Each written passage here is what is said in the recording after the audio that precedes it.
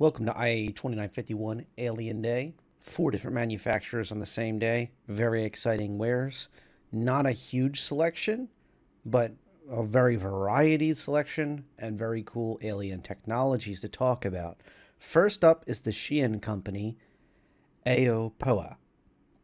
Now, the company has some very difficult to pronounce light fighters. However, they are the premier light fighter manufacturer for the Xi'an technology. Uh, so let's talk a little bit about this. We saw uh, the, uh, this is like the transformer.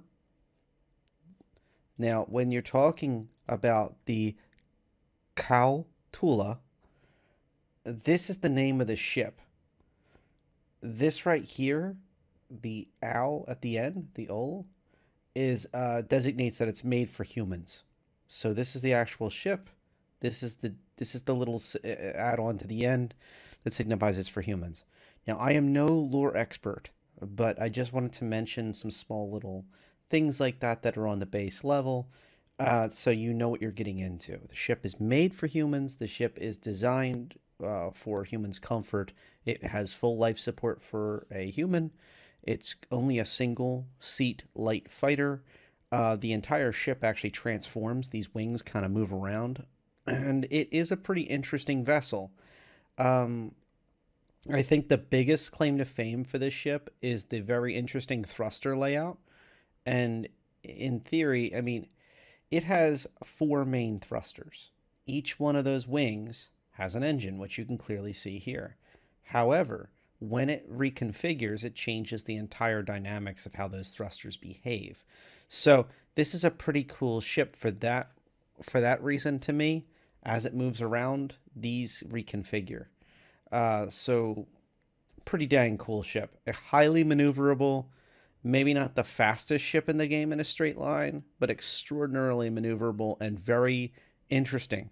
If you find yourself in light fighters constantly, this is a ship that'll make it more the game interesting again to you. And this is a very rare ship. They are not sold except for now and Alien Week for the most part. I've very rarely ever seen them before outside of those time periods. Now, as far as I can tell, it's got two size threes. I don't actually own this thing. However, I've seen them in action. They're pretty nasty. Uh, and due to the maneuverability that the ship has, it can get those size threes on target. Uh, basically, they're what I, from what I understand, they're right here. These these are like gimbal size threes, and that's all it has. But that's still that's a pair of size threes on a super maneuverable light fighter. That is pretty dang cool. No cargo, no box running on this thing. Uh, it is not meant for that. so interestingly, the special upgrade for today is one of the only ones, if not the only one. It's only $10 USD lower, but it's better than nothing. So it's clear that they're trying to push these today, and it is flyable. On to the Nox. The Nox is a flyable motorcycle. I think it's overpriced. I think it is very cool. One of the neat things about the Nox is that your character tucks up inside of this area here, like their feet would be here, and just like on a motorcycle with full full fairings, um, this protects you a decent bit from the elements on the front. See that windshield right here is that triangle. And all this nice metal on both ends and on the sides a little bit too, um, due to the fairings. So from the front and the back, you would be less susceptible to small arms fire, the weather, the elements, and the entire vehicle collapses up, unlike the Dragonfly. This is a much more practical vehicle to have on a, on a vessel. Now, it is only a single seat. The Dragonfly has a jump seat on the back with somebody pointed backwards. This does not. The Nox is a single seat vessel, and you need to keep that in mind. But it is very cool. It's a unique, it's a unique flyable motorcycle. It is usable now. Uh, very neat, very neat ship, uh, vehicle, really. I wish they'd do a giveaway referral with these so I get my hands on one. Because I just don't see the price value. I think this is a buy-in game, but it is a very cool buy-in game. Or, I mean, if you just really have your heart set on these, it's not a terrible option. And uh, finally, for Aopoa, you have Santuk Yai. So the Santuk Yai is a medium class combat vessel. It is uh, basically a different breed of, of, of ship, and it was used by the Xi'an military. Uh, this is like an older vessel, and it has a single medium shield. Now, I'm looking at a, spec sheet that might be a little out of date because there was that rework of combat vessels just recently. But with a single medium shield, I can definitely see this ship, uh, a single size 2 shield. I could see this ship still being very practical and usable. I can see it has some nice chunky armor on it. In general, this design language usually translates into armored at those positions. I do see some joints that would be a problem in possible combat. Uh, but this thing has over double the combat capacity, double the weaponry of the light fighter we just referenced. It has four size 3 missile racks, so that means it has eight size 2 missiles. And it has four size 3 lasers on board. Now, I'd be curious if you could switch. I, I would honestly feel like I'd like half of these to be ballistic if I could refit this to have half ballistic, half laser. So you keep the sustainment, but you also have that nice little sucker punch to this thing. But it's still, I, I think it's a pretty cool ship. It is a single seat fighter, and it is a unique ship. This falls into the category of if you like the Hornet, if you dig the Super Hornet, the Hornet series, and you really say, you know what, I really like these ships, but I like something a little more maneuverable, a little lighter, and have fun with, this is your ship. Uh, another example I can think of is the Saber. If you like the Saber, I could definitely see you flying this ship. This is another transformer. Uh, when it's flying straight out, it yet again has that unique propulsion system where you have four main thrusters. Um, it is a transformer. The engines can point down or up. This is very deceptive. It does not look like this when it's in flight. It is uh, basically a straight up and down vertical ship. So the uh, this one, because it's not showing it in flight, I think warrants a. Uh, I think warrants a. Um, a, full picture here. So let's take a look. That's the full picture of it and its concept art. Uh, I would not recommend doing skimming like that, but it, it is, uh, you can see how it has those folding out transformer style wings. And I want to thank Star Citizen Tools for providing some of the information I'm using today. Um, it is not, um,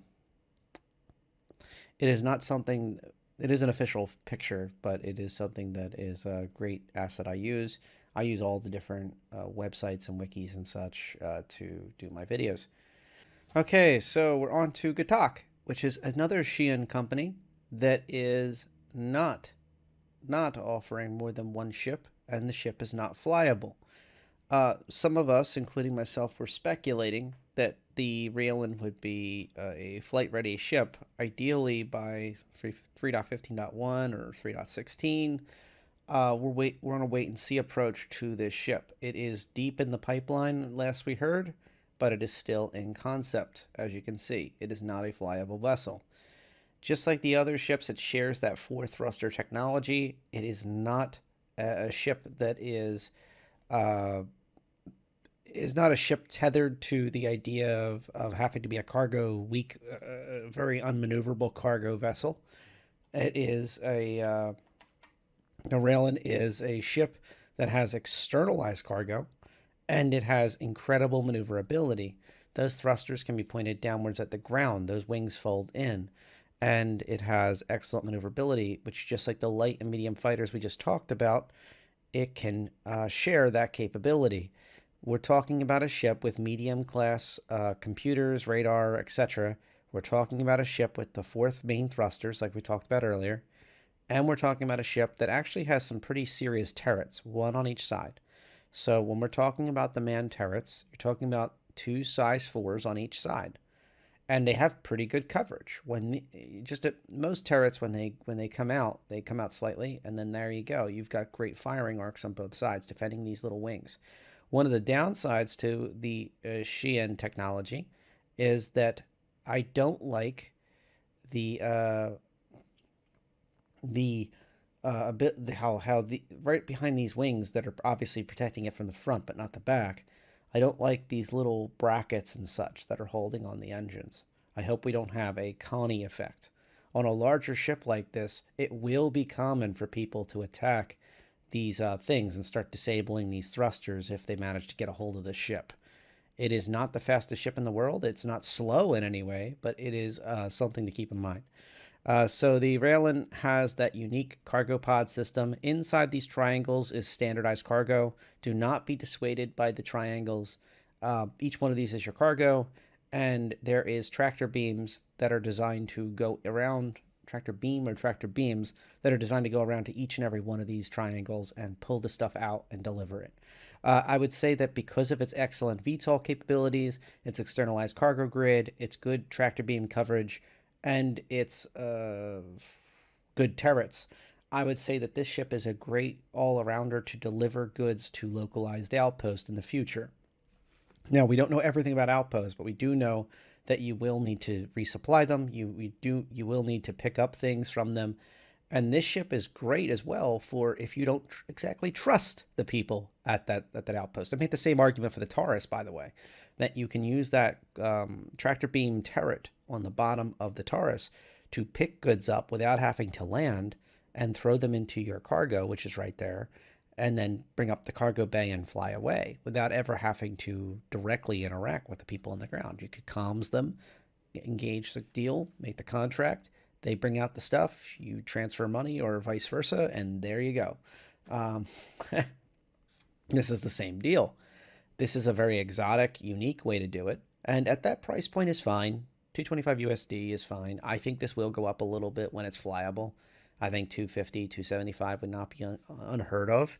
And to get the 10 year insurance on a vessel that will likely get shot at once in a while is a good idea, especially on a ship that's getting a little bigger. This ship is is pretty dang big for its for what it can do. And we're talking about 320 SCU. We're talking about a crew of basically two, maybe three. Remember, these turrets are a good idea to have covered.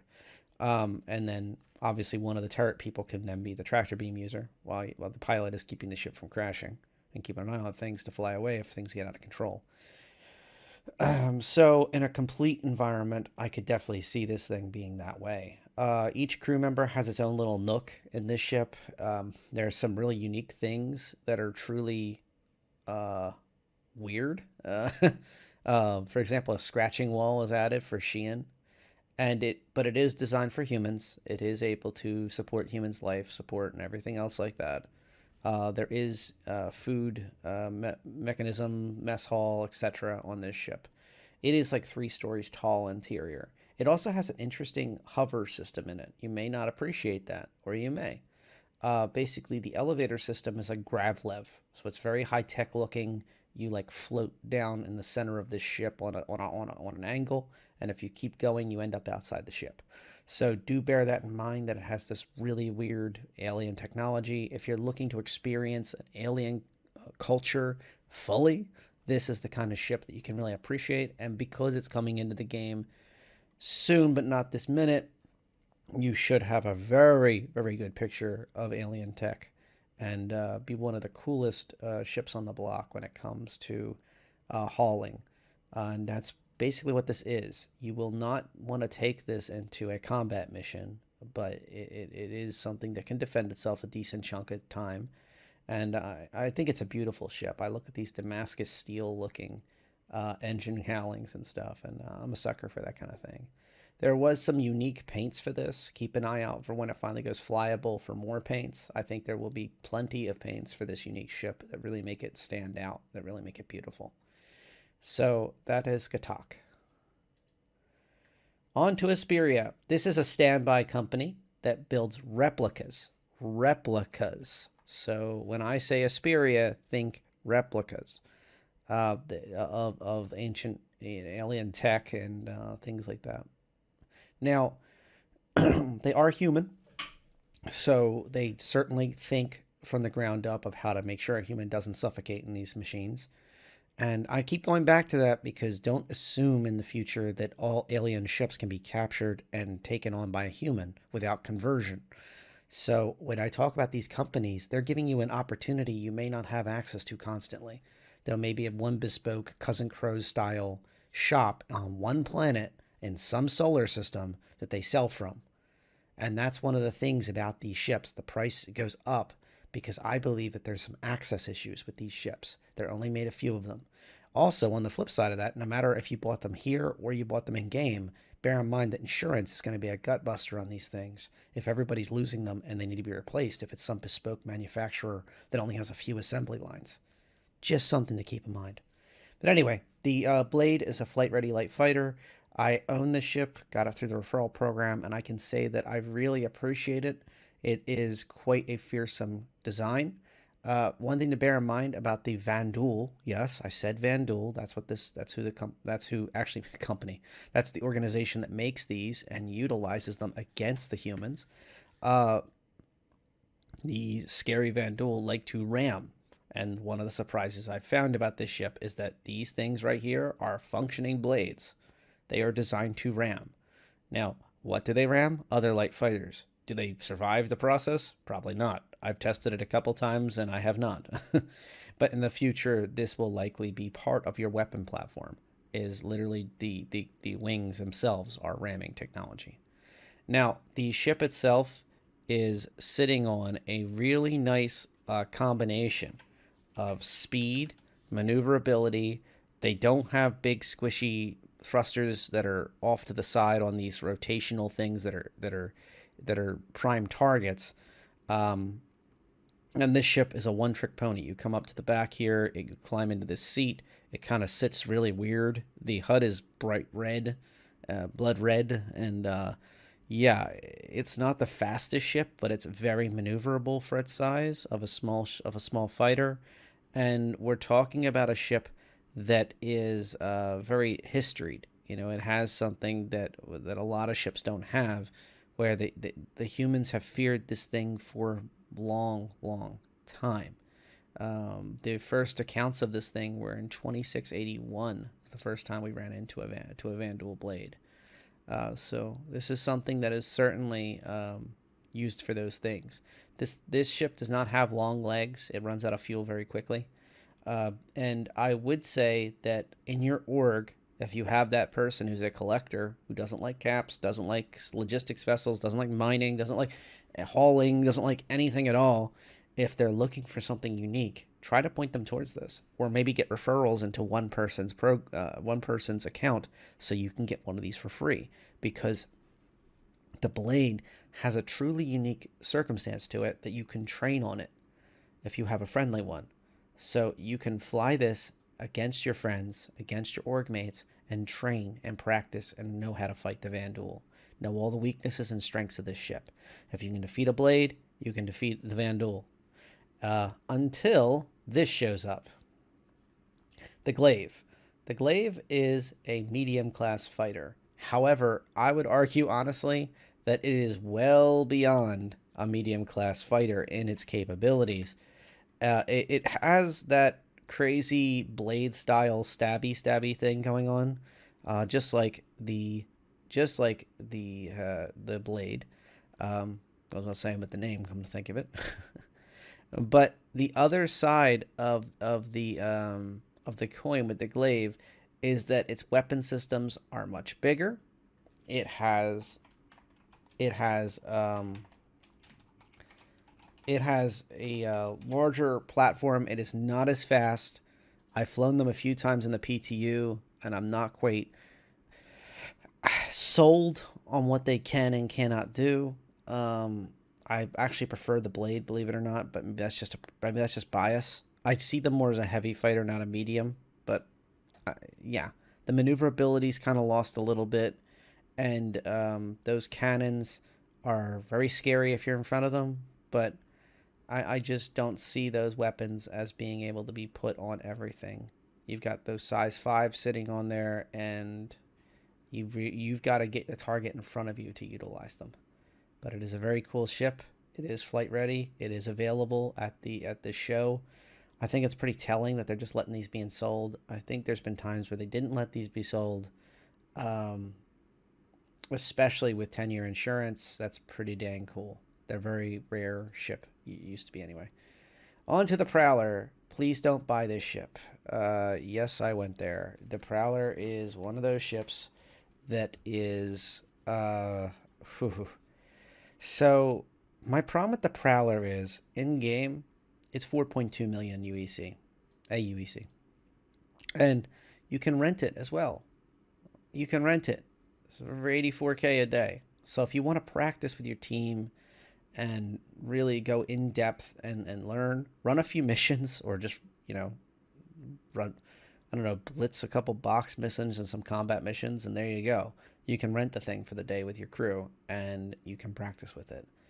I will give you a hint. This thing isn't that good for purchasing in game cash, real RL cash.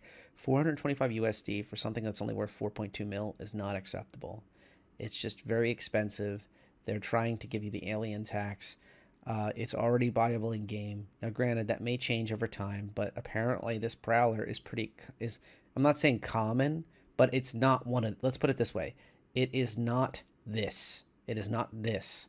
These ships that are very very rare, that are um, that are hard to come by. The prowler was mass produced, or at least much more commonly produced, and it's expected to be a common sight. Um, now it's based on a Tevarin design. Uh, it's pretty cool that it made, they made it humanized. It does actually have pretty good weaponry for its size. You have two size four cannons, and you've also got a nice little two uh, two size threes on a can on on a on a turret. Now, I, I do actually like that you can kind of soften up a target so you get in stealthily. Maybe you need to pop a couple things that you didn't realize were there, like an AA turret or something, and then land. Um, deliver your guys and get out.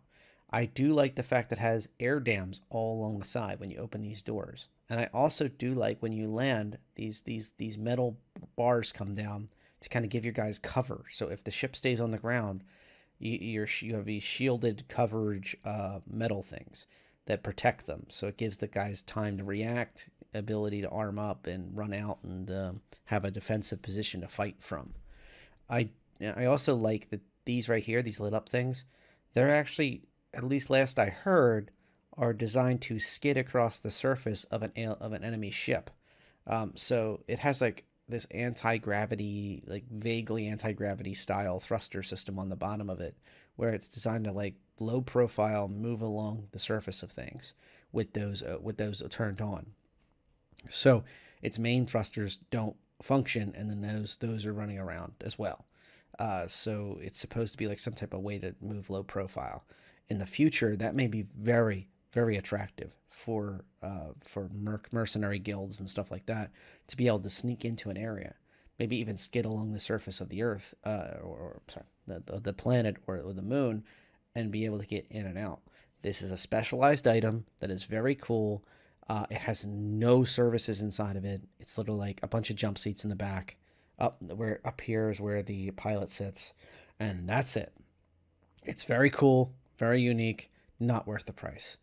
I think this has a huge alien tax attached, and it's a real shame there isn't like a view buying option, because maybe like 375, uh, 3, 390, you know, something like that. I could I could point I could I could start looking at it and go, eh, you know, uh, yeah, but um, make it a toss up. But because of this price point, I just can't justify it, no matter how expensive the air dams are or whatever it is that's up in its price. Okay, the Talon and the Talon Shrike. The Talon and the Talon Shrike are a tale of vehicles that are, I would say, people were very upset and scared of these things, and then they actually kind of like rolled out quietly, and nobody kind of noticed. Uh, um, the, the the Talon is the gunboat version, and the Shrike is the is the missile boat version. So that's the uh, that's basically the gist of them. Uh, you have the size four guns on the Talon, and you have the Shrike that loses the uh, the size three weapons for size one guns, and then an internal missile bay of 24 size three missiles. And that sounds like a lot, but then when you take a look at like something like the Freelancer MIS, which is not a very big ship and is almost comparable in size, um, and you start looking at like what it can field, and it's like not even not even talking about its turrets. I mean, you're talking about 20 size threes on a system that delivers more missiles, and then even more, uh, four more size threes and four more size threes. You have eight. You have basically 28 size 3 missiles on that freelancer MIS. And you can do like four missile volleys just as well as the free as, as the Shrike can. So bear that in mind.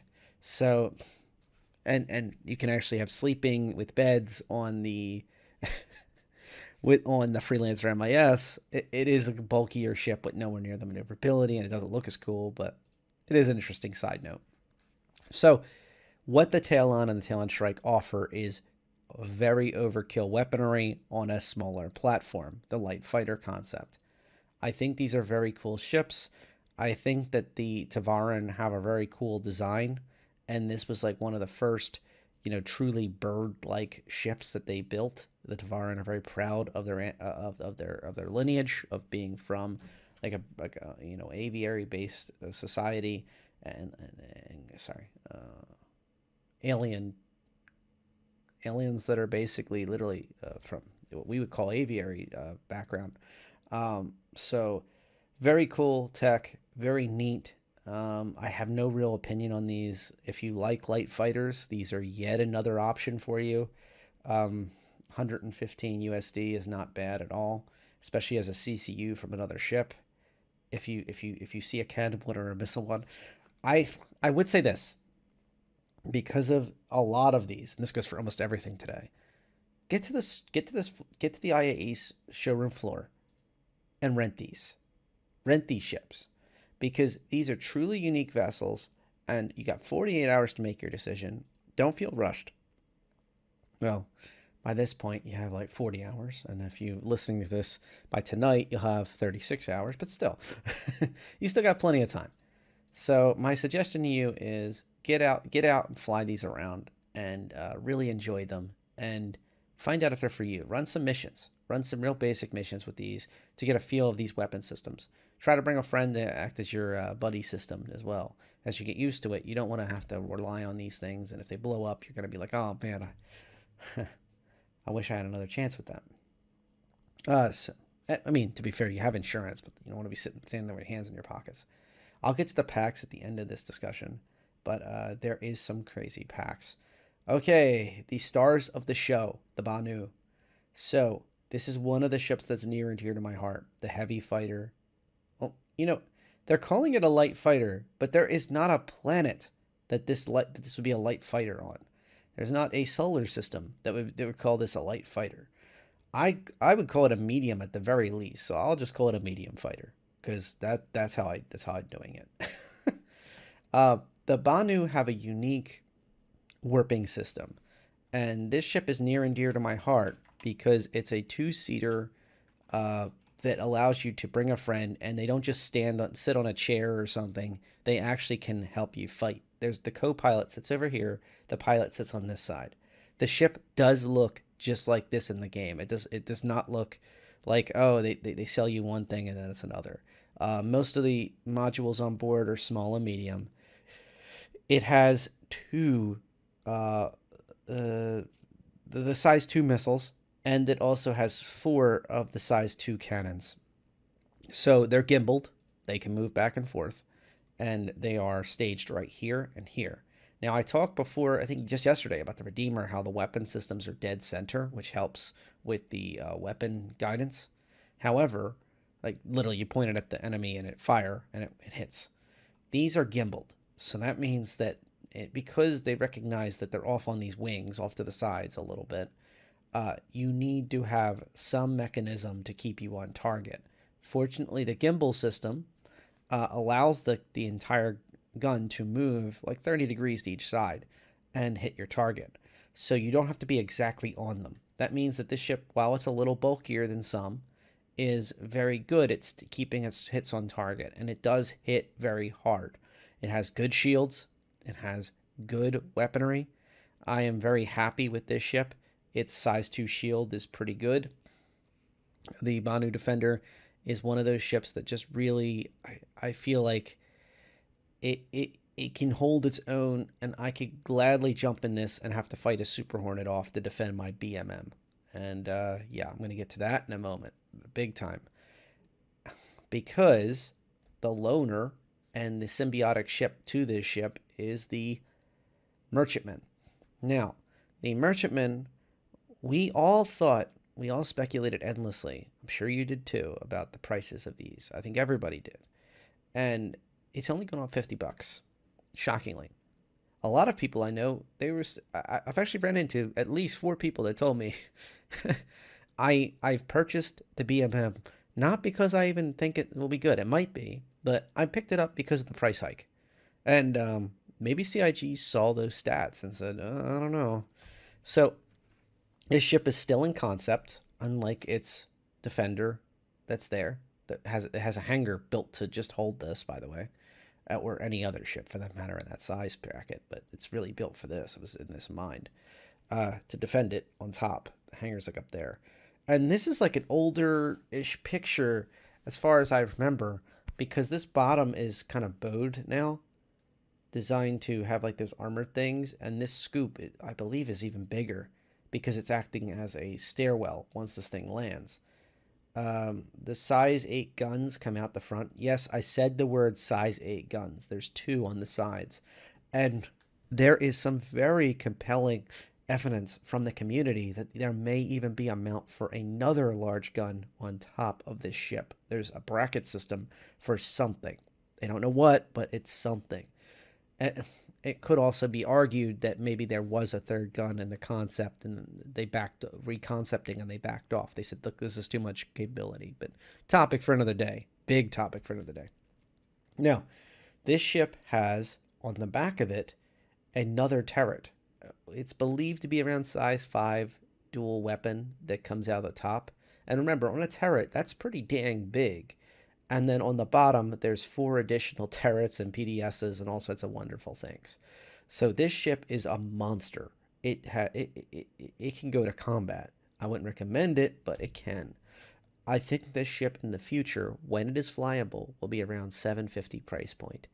And I've talked with a few folks, talked endlessly with Mason about this. I, uh, we, we both speculated that it could even go higher and it's one of those things where it really depends on where they want it to fold it fall into the categories of where do you really want this ship do you want this in players hands or not? It has eight public stores. There's a you go up the walkway or you land in the hangar and there is access to eight stores. There is a negotiation hall. There is a There's a medical facility hidden away inside the uh, the private facing side. There is crew storage areas, and uh, the idea is that the crew would also act as the merchants. So I will note that, unlike the privateer, there is not a bunch more rooms. However, there are visitor quarters. So it is possible on a BMM to have the visitor quarters be a few NPCs to guard and, and, and sell at the merchant locations inside this ship. But it's supposed to be a more hands on ship, whereas the privateer has at least a crew quarter for each and every shopkeep of the 10 stores, the 8 public and, eight, and, and 2 private. This ship would not necessarily have that. This ship, however, does retain a massive, massive storage area of like 2800 SCU. I cannot stress how much of a value this ship still is, even at that price point. And yes, I know if you go on Discords or Spectrum, etc., and you talk to people, they'll go, "Oh, I bought that for 250 USD, 350 USD, 400 USD." Uh, there is a joke, literally a meme going around of the BMM coin. It keeps going up and up and up, but it will go up again. So, if you're on the fence about this ship, do not hesitate. One of its loners is the defender, one of the best fighters in the game. So you can have fun now, and when you're ready, this will be ready. And guess what? If you don't like it, you can you can CCU it again once it once it price hikes yet again, because I, I truly believe this will end up at 750. It doesn't have the uh, endeavor level of uh, treatment, the endeavor level of capability of going up, but I am very excited about it. So I would say the BMM is probably the uh, the crown jewel of the event today. And uh, let's go over to back on the regular website, and let's go to the pledge store. I really wish the carousels were all the same um, carousel today, even though it was four different manufacturers technically. Would have made it more smooth for this, and also more smooth for players to make the decision. I, I, I, fear if players go to a single manufacturer and don't jump around, you know, it kind of like silos everything for them. Uh, the Orion's still available. I talked about this before. That's a great sale, but who knows, you know, when. That's going to be reconcepted by middle next year. Check out my video from yesterday. It's, it'll be in the cards uh, to find out more information about the RSI Orion and why you should pick one up if you if you really like to be industrial. And that's uh, the Reclaimer is another example of that. But let's see. Here it is. So here's the Merchantman.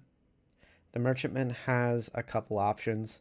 This is a really nice one, for example, if you have a 600i EX. Having this for that kind of price point, you don't have to even apply the CCU. You can enjoy the Explorer now, one of the best uh, pilot-based gun systems in the game. Three size fives plus a whole four racks of, of size two and three missiles. I think it is. Uh, it, it was really nice to have.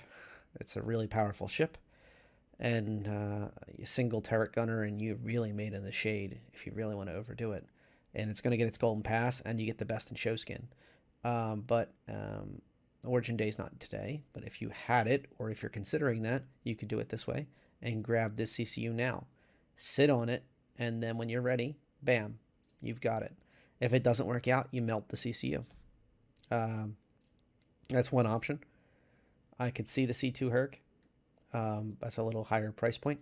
And then if I hit all ships, not just the ships I own, but the all ships, we have uh, some options. I guarantee, I think the M2 would be, yeah. Game read my mind. That's a perfect option right there. $30. I wish there was a discount on this for Warbond, but this you can at least use credit on this, so and it is available. Uh, we've had games of them played in the past where they've they've said, "Oh, you can do this, but not that." Um, by the way, 600 eyes. There's the touring, for example. That's still worth it uh, because you can always just melt the CCU, play that CCU game. And let's say the Prowler, definitely the Prowler. That's an example of getting yourself out of a bad position um, so you can still have fun now.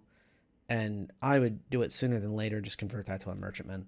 That price is going to go up. It's a fantastic ship. It gives you a future in this game. And this ship will not make you much money. This ship will make you boatloads of money. It's a hauler, it's a seller, it's a retail store space. It hopefully will have services. You have medical on board. You can you can run a small organization out of this and really start your yourself on an outpost uh, without even needing the outpost until until you're ready for it.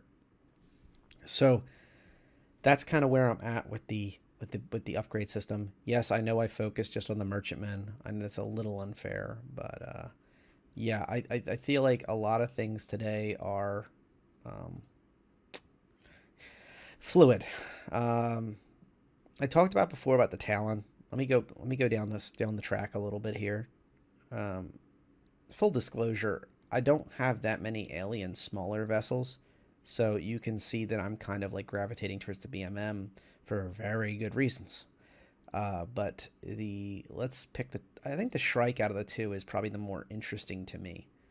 Uh, the Shrike has that missile that you would not expect out of such a small ship, and it just flings missiles everywhere, which I think is very useful. And if I'm looking, I think of ships that would like surprise me. Uh, maybe that I'm not really too excited about. The Herald would be a nice little upgrade for the Herald. I think of ships that are like, look. It, they were good, but I'm not too fond of blank. Um, those type of ships are perfect. The Buccaneer, there's a five dollar upgrade to the Talon Shrike. I think that's a nice upgrade. Uh, the M50, if you're not, if you find that racing is not really doing it for you, there's not a lot of content in racing right now. 15 bucks. Uh, so that's not a bad option. I mean, like the Talon Shrike, it is something where you can really hang your hat and say this is really fun. This is of course the the uh, the home the home brew the the war bond today, the the Khartu. Uh, so aside from having an incredibly difficult to pronounce name, um, I think of the Cuddy Red. This is a ship that just got nerfed where it does not have regen anymore. If you're not quite fond of that and you're looking for a way out, like you're not like you weren't more into it for the rescue, you were more into it as like an armored APC. This would be a good little ship, a good light fighter to have fun with on a nice war bond. That's not a bad price for war bond. Um, I would not do the free retaliator base. I talked before about this price is going to go up dramatically. Give it enough time. Razor EX for the five people who have one. Here's five dollar war bond for it. That's not bad. Uh, sometimes you get that lucky. Uh, the prospector. I would not do this, but you could do something like this. If you decide mining's not for you, you could do something simple like that. There, there's a few ships like that. Sometimes you get lucky where it just kind of slides in right where you needed it. But that's very rare. Now, on to ships I wouldn't do. So, the, the Blade is at a price point now where look at the ships you would have to get rid of in order to get the Blade at a reasonable price. I wouldn't give up the Triage. I wouldn't give up the 400i for a Blade. I wouldn't give up a Connie or a Vanguard or a Railen or any of these. Um, honestly, the, the, the Ares, I mean, these are fantastic ships, all for a piece of street cred, basically, because that's what a Blade is. A Blade is a good practice ship to fight against. It's not meant that it's very good itself. It, don't get me wrong. I'm sure somebody amazing at, at, at flying a fighter is, is, is going to correct me, but I just feel it's it's it, it's not the best ship. It's not meta at the moment, and for its price, I don't think it's good. If you took a one, uh, you took, eh, took deducted a one off of this number, then all of a sudden I'd be all over it. I'd be like, oh yeah, yeah, yeah, a little bit more than Talon. You can go with it, enjoy it, etc. Uh, okay, so paints. Don't forget that paints are available throughout the event. Uh, there's plenty of new paints. Uh, you do not need to run and grab the paints now, uh, but it would be recommended that you grab the paints. And that's how it is. Yeah, the paints are there. They're a good idea. They're beautiful. Be sure that you want every one in a pack. That's one thing I am learning to emphasize now. Like, I love that two-tone blue and, blue and black one on the hammerhead. I don't exactly like the multicolored one on the hammerhead. Oh, apologies. I almost skipped the packages. Uh, that's really important. The beauty of sort by all and then sort by price, uh, put it all, va value all, and sort by price, I can go straight to the package. So, oh, uh, fun fact. Last night, uh, I managed to pick up an Idris P uh, uh, credit edition. Um, I have, I actually captured like a minute and a half of video. If you need me to talk you through like how the process is and such, let me know. I debated making it a, its own little video, like a six minute long video talking about it, the process of prep and everything. But there's really not much to it. Um, I literally had the world clock on um, this website. I can show you that. I'm not trying to hide anything from you. Uh, I have this in the corner of my other screen, and at exactly 3 a.m. Eastern, my time, I uh, had in the cart from the previous, from Wave 2, I had the item. So when you go and you have the item in your cart already set up with your store credit set up, uh, you literally just hit place order, hit it and scroll down and hit accept. So it's like place order, and then the I agree that this is the backer, etc. thing, and you hit I accept. So hit the button, scroll down, hit place order. And if it if there is nothing there, it'll it'll look like this first of all out here, but you won't even see this anymore. It'll just say, uh, "Sorry, that item is unavailable. It's out of stock." But you just keep doing it over and over again when it hits 3 a.m. I did it 10 seconds before 3 a.m. I think I hit it around four seconds before 3 a.m two seconds after 3 a.m. my request went through. Uh, it still set out of stock, and then like I think 10 seconds or 11 seconds after 3 a.m. it went through. It actually worked, and um, I got the ship. frantically put in the, the information, and that was that. Uh, I used store credit to get the Idris P. Um, and interestingly, like I had slightly less than the full uh, amount for the credit, so that was kind of a funny experience. And it occurred to me that um, these bigger packages are uh, kind of money money sinks. They're like for somebody trying to play catch up. They're for somebody with a ton of money or credit to throw at something, and they're truly a diehard of that company. Great, but if you're just getting them for the big ships, you can get the big ships if you're willing to alarm clock it and sit through maybe the second and third waves and do it the way I just described, you will get the ship you're looking for. And I will show you my, my hangar right after this to show that I'm not BSing you. Um, so if you ever need advice or if you just need somebody to coach you through it, um, I don't want to see your info on your screen, but I'm just saying um, I'm always here to talk. And uh, if things change, uh, you know, I can reassure you at the next big, I think Fleet Week, I can reassure you about that. I'm always available in Discord, RedJay hashtag 0001. Uh, uh, but uh, one of the other things I've heard from a couple people is about their limited latency on their on their uh, well their their high latency on their on on their on their connection. So like they have a small amount of lag, and that is one of the frustrations they have. And to those people, I say get it in your cart in wave one or wave two. Still swing at the apple. I'm not saying don't. You might get lucky.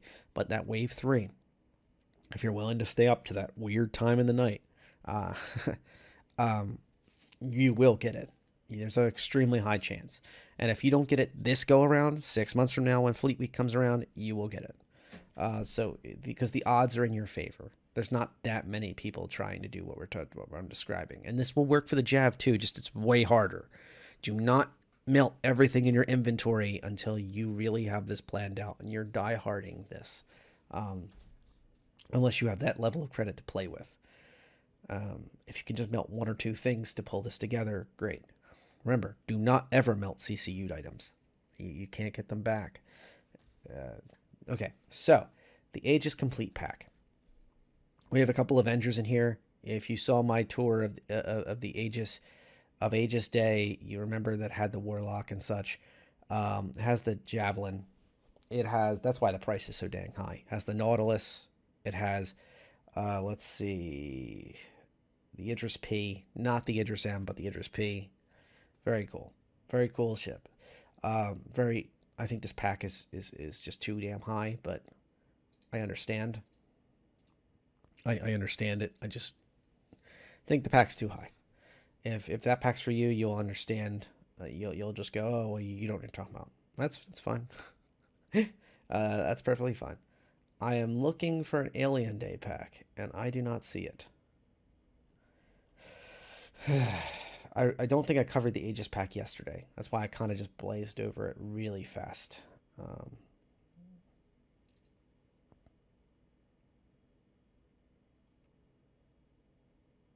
there we go. Now, why was this not visible on the All tab? That's mildly concerning. Or is it that there was so many high-priced ships that I just didn't notice it? Which is also possible. Uh, yes, okay. I was just distracted by the big ships and, and, and the Anvil pack and uh, the 50 different pack, pack, packs. Okay. So here's the War Bond variant, and here's the slightly more expensive uh, credit variant. I always like to pick the credit variant to talk about price value because I feel like not many people are going to be buying this war bond. Um, so we got the Talon, the Talon Shrike, got the the very nice Defender, got the Banu Merchantman as your anchor on this, the Vanduul ships you have on here, both the good ones. You have the Railen, the Prowler. I feel like the Prowler is going to boost this price up of uh, probably 100 or 200 more than it really deserves to be.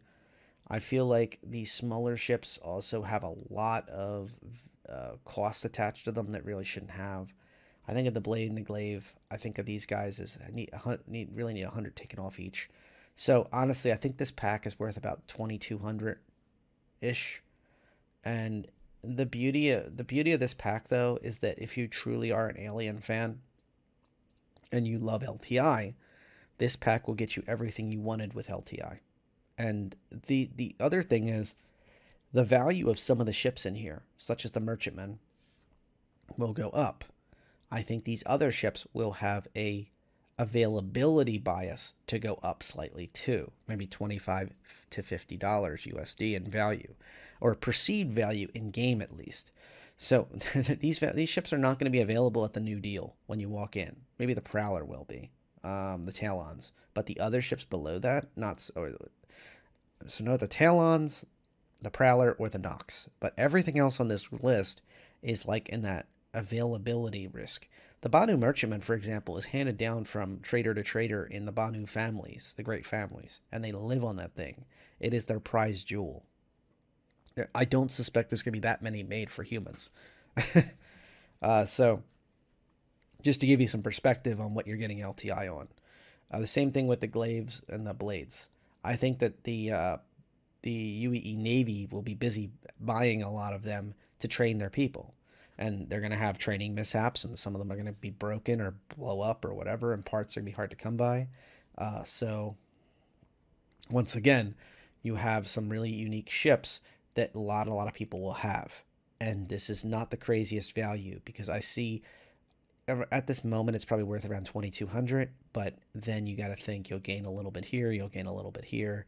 Um, so not a terrible pack. Uh, i think it's a little pricey but that's the way these packs are supposed to be. They're like for somebody who just wants it now no matter what doesn't want to collect just wants to get their collection all in one fell swoop. This is not a terrible option to choose Okay, let's get into the showroom floor. Very small expo. As a reminder, if you come to the showroom floor, you can get in the elevator and choose either hall. Right in the elevator is the schedule, and including the dates in-game, which things like that are very welcome to me. I think they greatly improve the experience of the player. Uh, looks like its warp projection system is activating for some reason. Lights at least that's where they are. Although I was when it warps, it has a very beautiful green hue it kicks, and it sits like right here. Um, this is the Banu Defender. Let's uh, take a closer look at it above here. So the Banu Defender is huge, especially when it's in its crab formation, when it's in landed mode. These wings, when it's in takeoff, these fold straight forward, and they kind of they kind of scrunch in a slightly. Uh, makes it a little less of a huge ship, but it is a big ship, make no mistake. That's why when I saw the designation light fighter, I kind of cringed a little bit. I, am not quite sure what they're, how they came to that conclusion. Um, here's one of the beds, and then here's the other bed. This is an alien ship. It does look alien. These are doors, and this is where the pilot would would, would sit. So the pilot sits in this seat, and then the co-pilot is in a separate compartment on the other side of the ship. Now, I don't, I've never tested it, but I've assumed that if you're on local VoIP, VoIP you, you will hear each other. But um, still, it's an interesting ship. It is one of those where um, it will treat the, the Banu merchantman very well, the BMM, very well and protect it. A dual engine fighter like this that I, once again it is not a light fighter. I don't at the very least it's a medium a heavy heavy medium. Um, dual seat ship um, that can do virtually every role or any role uh, solo but then you also have that co-pilot seat. So it gives your uh, if you have somebody in your family or friends that only occasionally plays uh, it gives them something to do, which is nice. Uh, this ship right here, here's the co-pilot area. And, I mean, it's a full-fledged, you know, seat and everything, good visibility. And then you have this joint area here when you open the door. Now, this is a ship you would want to wear your spacesuit on, because if you open this door, the crew compartments are uh, exposed to space. Now, there may be shutters or something, I don't know, but anyway. Uh, remember, with two beds, you have two logout options. So if you have a friend that visits only once in a while and they want to stop flying with you mid mid mid mid warp, uh, they can jump in the co-pilot bed and go to sleep and log out.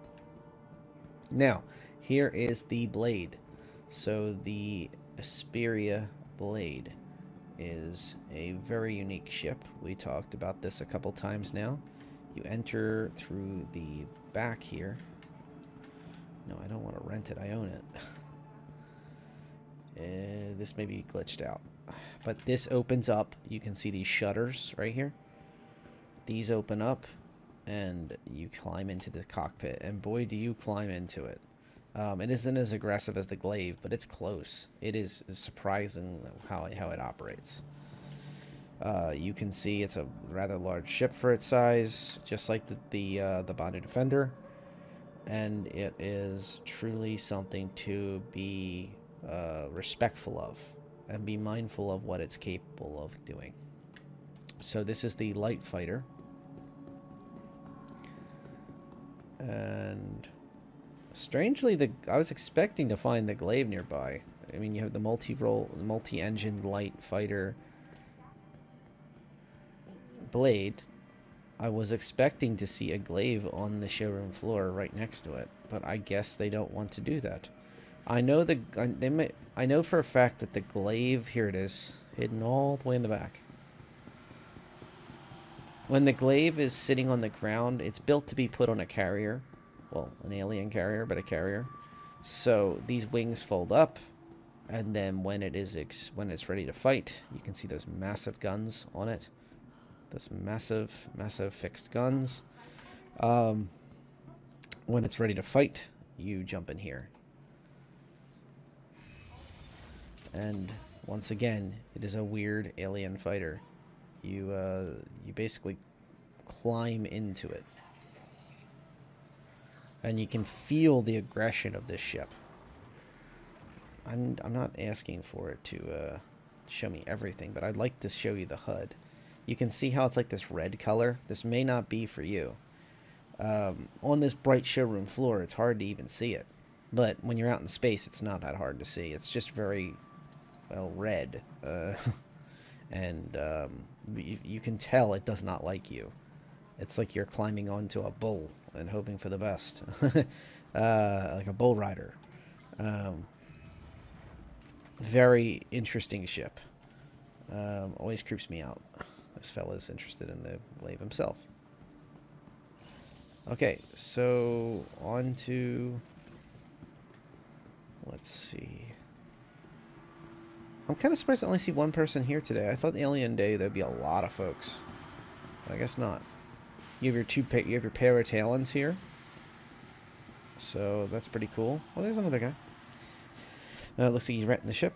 And you have before I go to the before I go to the the Prowler, I would like to check out this ship here, the the Khartu. And the owl, once again, the, the owl designation just means it's the humanized version. But, uh, very cool ship. Um, I talked about this before, how the thrusters change. So this is in its landing configuration. You can see these thrusters are like pointed basically at the ground and they can swivel still. See those nice huge pieces of metal there that it can swivel around, almost like almost like um, um like an like a light, you know, like like like like a spotlight that can move around and pivot. It's really cool, or a pan tilt zoom camera or something. Like it's really neat the design these things have. And then once it takes off, this beast goes vertical. This cockpit is very difficult to come to terms with because you move along with the whole structure and everything, and this thing moves, it fidgets, uh, for lack of a better term. uh, yeah, it's not for me. I'm not a fan of this ship, but the uh, the fans of Aopoa uh, really do appreciate it. Also, it's worth noting in its landing configuration, look how the weapon systems are pointed directly up, which are basically eh, not not usable uh, in that current condition. So just something to bear in mind. Uh, truly unique ship. Okay, on to the Prowler. Now, the Prowler is a cool ship. I said this was a buy-in game. I'm sticking to that.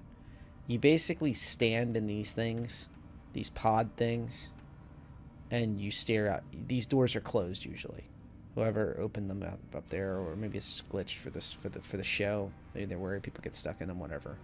And when it's powered up, there's air dam systems that are all around the edges. So this is breathable in here regardless of the doors are open or not. This door here would be closed uh, for obvious reasons uh, if you're going into a combat zone. Uh, so you would load up in, in the back, probably on a very large ship. You would get into your positions. The pilot would close the door, do its pre do his pre-flight checks, and then he or she would go, run up here, get in the pilot seat, and take off. Now you can see there's even more pods here. See this one here and these three here. Um, I'll be honest with you, I do not know what this is. I think this is just another door. Yeah, it's another door for the pilot. Okay. But this is the extent of the ship. It is cool. It is unique. It is something that I think is, is, is something really special. But where the heck's the pilots?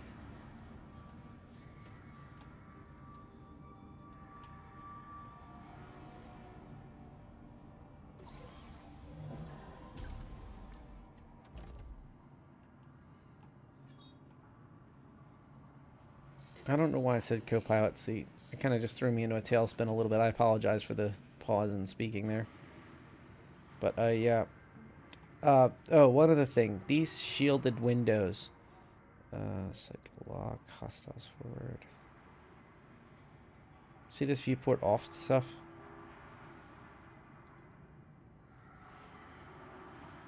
It's glitched, but you can turn this off and on. So these are screens. These are like the, you know, that the, um, see if I can close the exteriors. I can hear it clicking.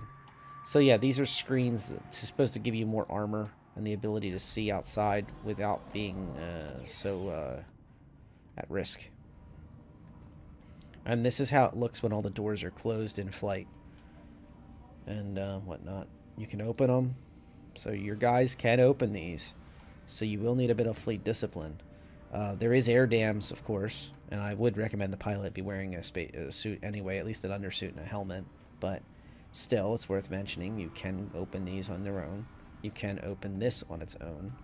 So, uh, but in general, the idea is that the pilot would land, open all exteriors, and then all the all the folks would come flying out of this thing. These big metal bars are meant to offer you some protection. That was the original concept. They also give it that bird-like mentality.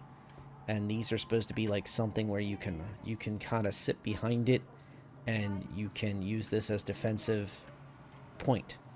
As a reminder, SDF shielding means that the shields kind of extend slightly past the edges of something. So it would not be uncommon for this to have some type of shielding that would be protecting you. And, um... Actually, you know what? I have... There we go. Here's a medical gun. Trying to give me an idea of what I'm talking about. You can kind of like get behind something and take some shots, right? Obviously, this is a medical gun, but you get the point. I apologize for the chat, by the way, if there's anything in there. I don't know. I wasn't paying attention to it. But this will give you a position to be able to defend the ship from. So all of this stuff is meant for you to be able to help get a perimeter, a sense of protection around the edges of the ship. So a smart pilot of this vessel a smart pilot of this vessel would um, turn around and they would uh, a smart pilot of this vessel would turn around and land you facing sideways to the enemy position so you can come storming out of these shields air, air dams and get over to this position and your your your squad would be over here the others the other half of the squad would be over there and then once you feel comfortable you give the all clear these are those pads we were I was talking about that we really haven't seen come into their own yet that allow it to have like extremely good maneuverability at low speed, very tight to the to different items. And the thought is they should help with uh, boarding enemy ships. When this ship came out, there was some suggestion and thoughts and theory crafting from the community that it would be the equivalent of the Valkyrie dropship uh, for against enemy ships. The idea was that those pads would allow it to kind of like magnetically stick to the ship, so to speak, and with, with very limited IR and EM uh, re readings, be able to sulk around across the ship to find a good position for its folks. And then they would EVA out the air dams, which were perfectly suited for space. Remember, the Valkyrie has those. The whole thing it's ventilated if anybody opens a single door, um, whereas this does not. Um, so the idea was that this was better suited for space. It has bigger guns built for space for, for control by the pilot. Like the, the idea was that this was far better suited for space. There's one obvious downside to both of these ships is that they're very big. Uh, a lot of the ships that you know that you would try to put this on, it would be a little too big to fit on. Like, I struggle to even see this ship fitting on a Liberator, for example. So, I mean, how big is big? Um, so, I guess we'll see. I could see it sitting on the pads of a Kraken, but, I mean, there's not too many ships that can fit it. So it's kind of its own creature. And if you noticed, it didn't have food resources. It didn't have a bathroom. It didn't have this. It didn't have that. Um, it, is it is a it is a dropship, a through and through dropship. So, without further ado, let's go downstairs and see if there's any holoviewer surprises for us, any goodies down here. I'm pretty anxious to see a Railen, I'm guessing. Um, here's some waiting area, so that means that there is nothing on that side. And on this side is the Noxes. Okay.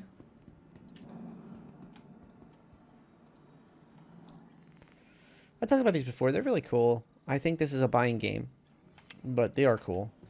I do like the defensive characteristics of the Nox.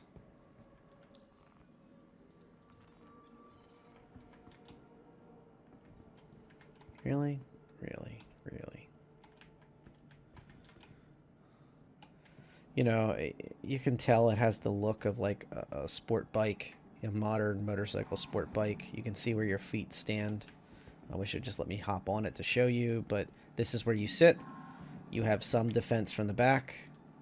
So if you picture some dastardly Duke evil person trying to get at you, um, you have some coverage from the back of the vehicle. And you have a fair amount of coverage from the front of the vehicle. And that's pretty dang cool. You have um, some utility in these weapon systems that are forward facing. So if somebody was say you were up that you were trying to catch up with, you could interdict them in theory, another motorcycle or some other type of vehicle, and you could also shoot at them. And there is very limited ability for them to hit you from here, unless that window is not bullet resistant. Uh, the elements will also be something that you can get through a little better. I use the blizzard analogy I showed you a couple nights ago. Uh, but from the sides, you have basically no coverage at all. Even your legs are exposed because your knee would be the only thing protected here. Um, your legs, your body, your upper chest would be all uncovered. So do bear that in mind. It's basically a forward-backward protection, but it is some protection. And it sacrifices that second seat for a very good reason. I do like when it's packed up. It almost looks like a big, giant briefcase. I think this is so cool that this whole center packs up. Um, but I hope it's the right one. Let's take a look at the uh, display, which I'm guessing, at the very least, there's got to be a Railen here. So, let's see. Here's the Gatac Railen. Now, Gatac is a, is a pretty new manufacturer. Um, this is the only ship they have so they're going to focus hard on it. Um, the design language obviously is the Xi'an, but medium cargo hauling, prime example of House Gatac, industrial for centuries, etc. Um, you can see the triangles here we talked about, and then inside is a standard cargo box. So do not be dissuaded. Once again, do not be dissuaded by the triangles. They are not going to impact you in any way, any serious way to cause trouble. Uh, there was a theory that this, that this is where like the uh, this band here would be where the where the tractor beams roll along. We'll have to see. They get like deployed from up here and kind of roll along both sides. Um, you can see how the turrets are nicely outwards. See how they're nice and exposed out. That's a good thing when it comes to a big old pair of size fours on each side. Um, nice coverage. Look at this is what I'm trying to bring up. Look at even from the backside, the turret can still spin around and get can hopefully get to someone here. Only once you hit like here, and that's if the turrets don't expand anymore. Most turrets, when you deploy them, they stick out slightly further, and then um, they roll. This one looks like it's more built for like rolling around in the circle, and staying within the circle though. So that's some thoughts I have.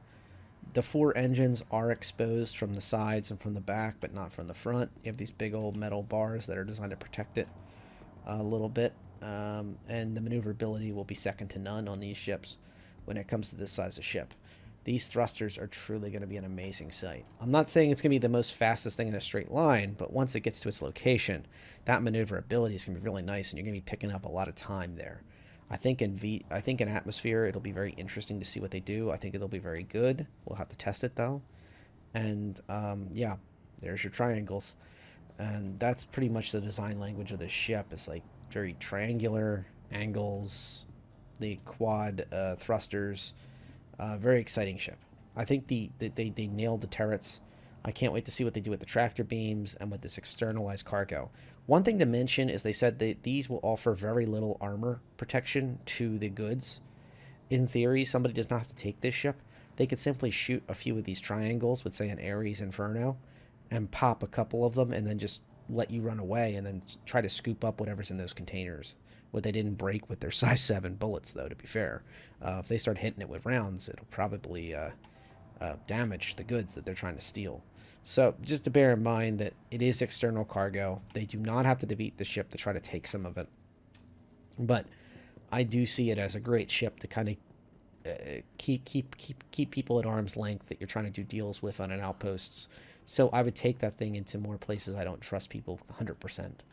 Um, so cool, cool idea. Cool idea. Very cool ship. And I think that's going to make a lot of people a lot of money, that ship. On to the Banu Merchantman. Sorry, the, the Banu, the Banu Merchantman. Before uh, the, the, comments section comes alive. Uh, we can see the new mount. This opens up to create the dual size 5 turret or larger. Yes, I know there was suggestions of larger turrets possible. The theory crafting is, is alive and well. The stairwell is open, which is regularly a fuel scoop. Um, very cool. It has the folded out wings folded out, um, it is mentioned that this fits in the largest hangers and pads because these will fold. You can see the, um, the fixture here. So this will fold up and that will allow you to fit in there. Um, interestingly, you can see the mount points for the turrets, but there is no turrets mounted to the bottom of the ship. Um, there should be four of them at the very least, and PDSs and all this other crazy stuff. Um, I really dig the music in here. Okay, so these thrusters here, like this thruster, for example, this is clearly meant to make it better for it to land and safely land onto a gravity-based moon or planet. And then these are retractable um, grates, or or they are panels that come down out of the ground because there is panels inside this ship that are designed. I think it's this one that is designed to go all the way to the surface literally it like floats in place. It uses alien technology to float cargo uh, in place down to the ground, including like the size of a cyclone and normal standardized cargo unit containers. So these containers can be moved, large containers can be moved. There is a gantry on the top of this 2800 SU cargo area. It can lift things, put them onto this panel, and then the panel drops them down. Uh, it is internalized. There was hot debate in CIG about whether that would be external, internal, some combination thereof. But as long as that is not lowered, it is um, it is internal. Um, still, we haven't heard if there'll be like an air dam there. So when it is open, is it going to be ventilated to Atmo or not? Is a, is a debatable position. Uh, the ship's um, airlocks are on the sides towards the front. So people will enter uh, via the sides, and then they'll have this long walkway above the cargo area. I'm guessing we'll have windows towards the cargo area to really let them have something to see while they walk along this huge ship. And then the public-facing, like mall, two-story mall, will be at the end of that walkway. So they'll be on the second floor of that walkway. or they can enter via the staircase if it's on the ground. So this ship is built to be on the ground or it's built to dock. I think that's a very smart move. It has, sorry, it has at least one dock. I don't know if it has two. Sorry, I should take that back. Um, but the docking was a smart move. Having a capital class docking collar uh, ability is really smart. You can land at a station. You can make your sales. You are not bound to just sitting on the surface to make your money. And that is actually an interesting perspective, especially for people considering this or the privateer. I'm sure that's a topic. I mean, it's one fourth, just over one fourth of the price of a privateer. So it, it really makes a lot of people head scratch going, what is the privateer's base? If I'll leave in the cards a description of the differences between the privateer and the regular Kraken.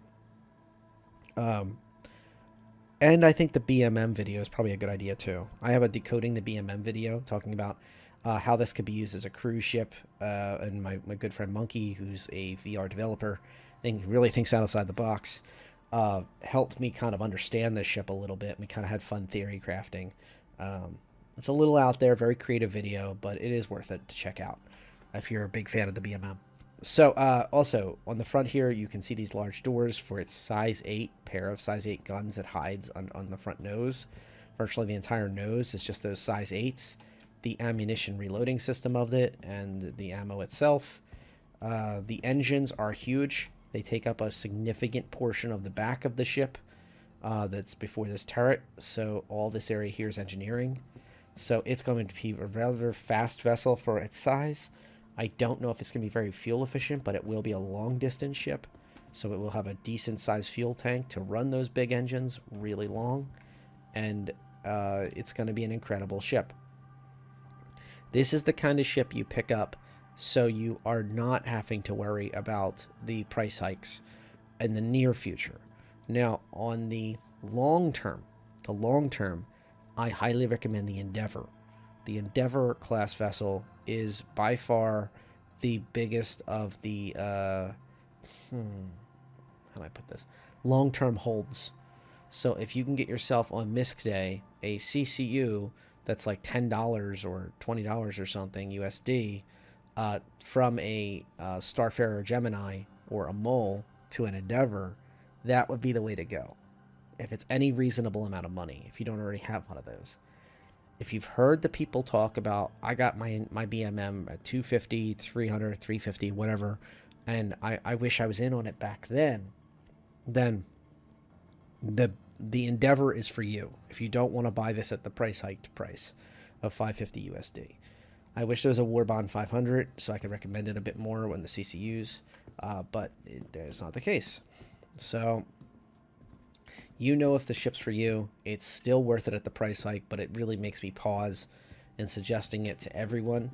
It's a ship for people that have almost everything already and uh, are looking for what you know that one last money maker, that one top of the line ship to really sell everything. Um, that aren't interested in the privateer or don't have the budget to do so. A very cool ship, very cool, great way to end Alien Day. I'd like to thank you for being here. Please subscribe if you haven't already. Thank you to my long-term subscribers. I do these videos for everybody, for newcomers, for folks coming back, and for folks that are been here forever like I have. And I'll tell you this the reason I do these is for you. I really enjoy interview, uh, interacting with everybody. I'm always available. Comments below in public or in private at RedJay hashtag 0001 on Discord. Thank you all. Fly safe. Hope to see you at IAE. Take care. Oh, and by the way, I keep saying that. Um, the most common time I'm, I'm active is Eastern Standard Time, EST uh, U.S. time zone uh, at night. So basically, I'm pretty active around 8 8 p.m. to around 11, 12, something like that, uh, for my in-game play. I do these shows right around when this hits me at 11 a.m. to 12 a.m. till noon, I should say, uh, to 12 p.m. Uh, and basically, I make these videos at the, the showroom floor and then when I actually do play is at night. so if you're wondering like when am I available, when am I on, that's time to hit me up if you want to go fly some stuff and blow some stuff up. Uh, tonight I'm hoping to do some credit grinding I've got some friends who want to get some more gear, and I'm hoping to grind that as well. Like, get my hands on a whole bunch of gear I can just hand out, and some credits I can get them so they can rent more exciting ships. Yes, I said rent ships, even though stuff is zero UEC, because uh, for whatever reason, some people do not come to the showroom floor, and I'd rather just be able to throw them some cat some UEC while we're sitting on a station, and get them moving. Yes, I know that's weird, but uh. and come to think of it, I don't even know if you can rent a ship on, on the stations. So this is something I'm working on, and it is something that is near and dear to my heart, though. The any way I possible I can get people to. uh, any way possible I can get folks to play the game, I will encourage it as best as possible and let them make sure people have a good time. Alrighty, I am out. Take care and fly safe.